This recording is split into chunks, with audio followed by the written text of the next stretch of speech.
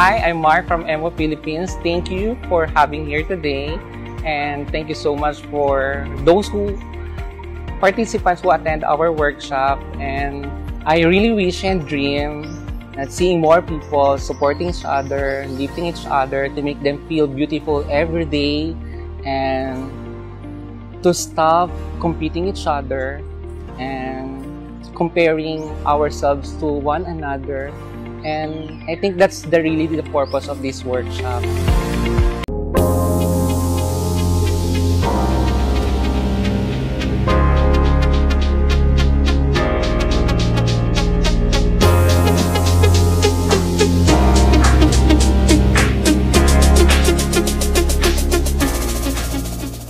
I believe that everything happens for a reason, and sometimes we redirecting the God's plan. We are advocating of uh, educating young women or women out there to having this makeup to empowered and inspired them to be a better person.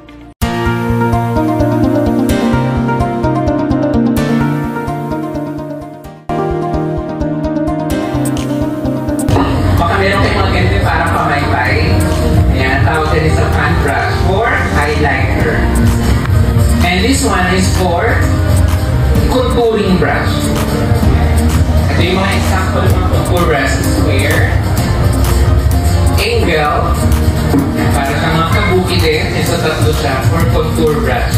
Ano ba yung contouring? Baka mamaya malalaki kasi mga mukha. Gusto nyo siyang palitin. Kaya binugo ng mukha ninyo wala akong pinariligan. Gusto nyo pumayat. Ayan, i-contour lang natin. Meron kayong ganito, mga sponge. So, beauty sponge. Sponge ito.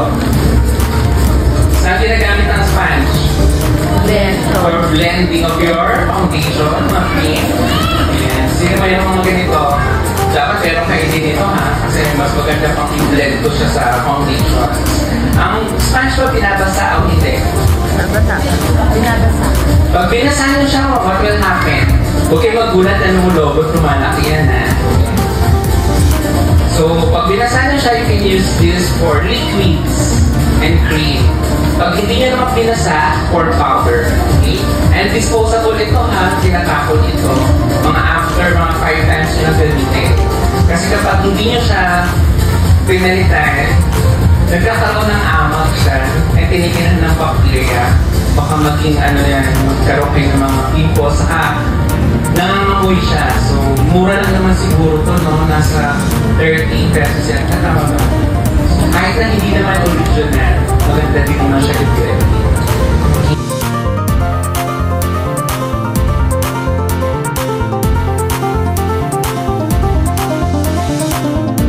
So, you have to start your makeup in skincare. Bakit skincare? The word care is to protect your skin first before putting any chemicals. Okay. Okay lang bang introduce ko muna baka mamaya nakakalap narinig nyo na yung the word corrector. Ayan, corrector. So bago muna tayo mag-foundation, introduce ko yung corrector. Baka mamaya, ano ba yan yung corrector? So ang mukha kasi ng tao, may imperfection, kailangan muna natin i-hide of i-cover up yung mga imperfection natin. Baka nangingitim yan, namumula. So, kailangan natin gamitan siya ng corrector. The word corrector is to Correct. correct. Ayan, yung nangingitim, kailangan natin siyang i-cover up. So, may mga kulay ang corrector. We have blue, purple, pink, green, yellow, peach, orange. The corrector, more commonly known as color corrector, is a cosmetic product that can conceal skin imperfections. Para mas lalo nyo maintindihan, ang dami pa ng kulay ng corrector. So, ipapakita ko na lang sa inyo. This color will make up theory. So, meron tayong yellow corrector, orange, red, blue, purple. Kapag nangingitim naman, anong katak? Walang itim dito. Hinapir, pero sa color B, ang pinaka-dark daan ay ang, black daan is the blue purple or blue. Yan, ito yung dark.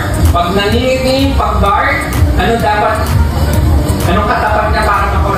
Orange. Orange corrector. Okay. Okay, ulitin ko. Pag namumula ang face natin, anong character dapat gamitin? Green. Pag nangingitim.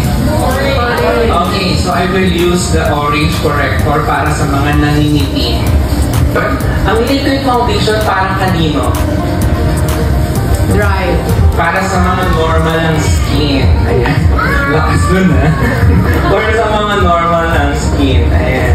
Ayan. Para naman sa mga... Okay, para sa dry ang skin. Eto. Cream foundation na bagay sa inyo. Mga cream. Mga creamy. Ayan. Ah, cover pala. Cream foundation. So dahil kapag um, dry ang face ninyo, mahirap kapitan sila ng makeup. Okay? So sino yung mga dry ang love life dito? Ayan, wala naman lahat ano, healthy. Pag dry ang skin ninyo, use creamy para mas kumapit. Pag dry kasi mahirap yung kapitan ng makeup eh. Okay? And then kapag oily naman ang face ninyo, use powder foundation. Paano nagiging foundation ng compact na ito?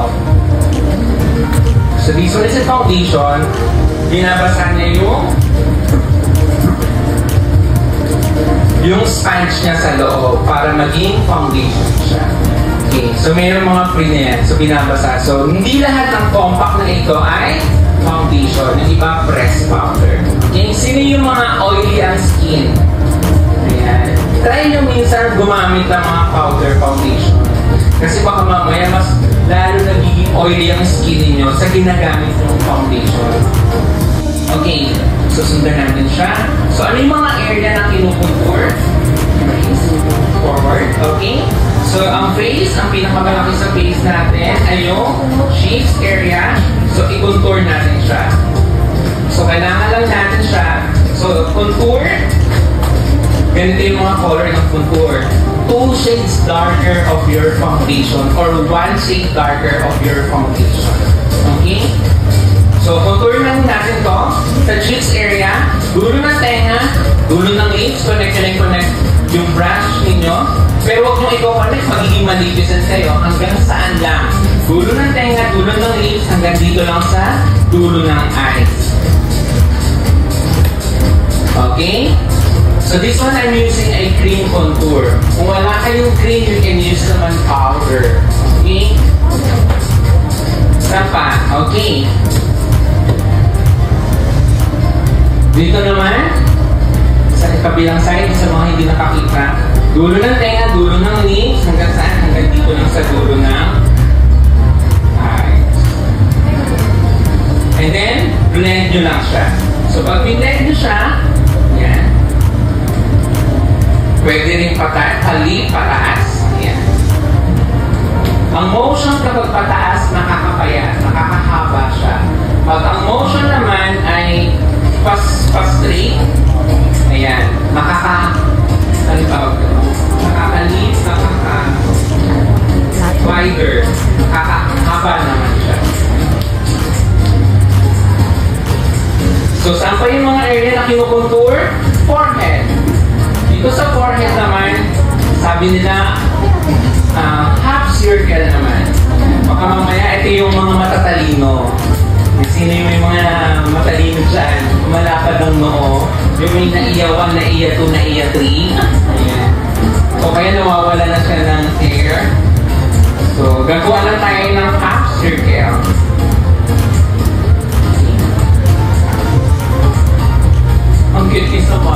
Pa niya yung kapatid niya. okay, and then, contour din natin yung chin. Doon sa mga mahabahan chin, pwede nyo siyang putulin. Pero si Maurice, maliit yung chin niya, so no need to contour. Okay? Pero kapag magkukontour kayo, pwede nyo naman siyang ganun yun. I-touch nyo lang siya. Yan. As move your brush, pababa. And then, pwede rin kayo mag-contour dito sa gagawa kayo kung wala kayong jaw. Yan, gawa kayo ng illusion na parang jaw. Sa ilalim ng tenga, papunta ng chin. Okay? Nakita ba? Okay. And then, blend nyo lang siya pababa. Exage ko para makita ninyo, ha? Ayan, ganun lang. Then, move your brush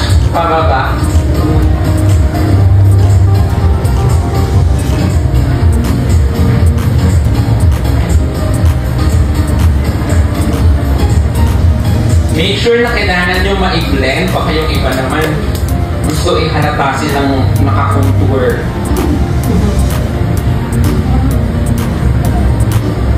Okay. Then next natin ay mag-contour tayo sa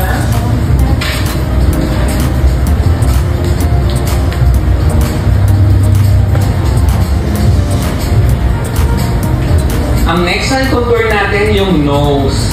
So sa nose naman natin, dito sa butas ng ilong, yung pinaka-inner ha, gawa kayo na parang straight line. Straight line. Ayan. And then kung gusto nyo tumangos yung ilong ninyo, letter B. And then ang ilong at ang kilay, kailangan magka-connect lang. Then, i-blend lang natin siya. Paano siya i-blend? Blend lang natin siya pababa.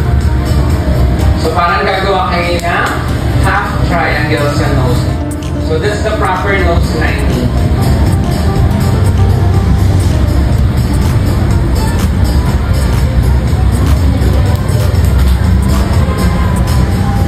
Okay, ulitin ko.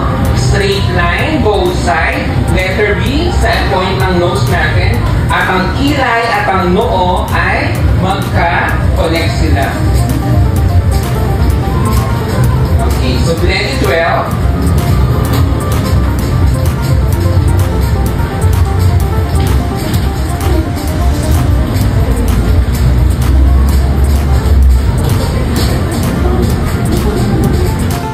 So next natin is cream blush. Blush on naman tayo. So this time, I'm still using the cream.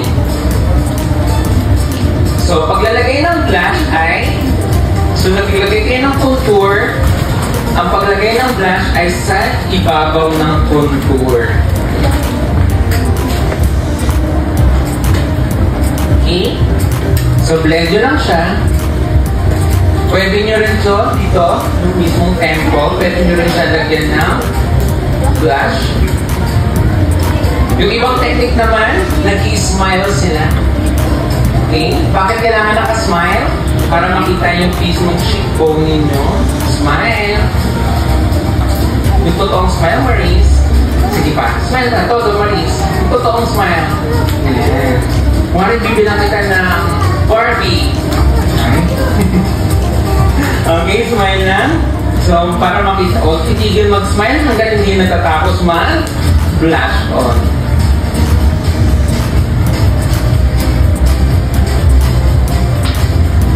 Pag round ang face ninyo, kailangan ang movement ng inyong blush ay palit pataas. Ayan, para kumaba yung face ninyo. Okay? Kapag mahaba naman ang mukha ninyo, ang movement ng brush ninyo ay? Um, horis, ano tawag ito? Horizontal. Horizontal pag ganito. Pag straight pag ganyan. So, pag palit naman siya, yan, pag palit, nakakahaba ng face. Ayan, o, nakakalit. Okay, so maglalagay tayo ngayon ng eyeshadow. So, pili kayo dyan sa palette ninyo ng pinakamagandang color ng favorite ninyo. Pwede kayo mag-start din sa brown. Okay lang din. So, yan basic kasi ang color na shade ng brown. Or pink, coral, depende kung anong gusto nyo eyeshadow for tonight.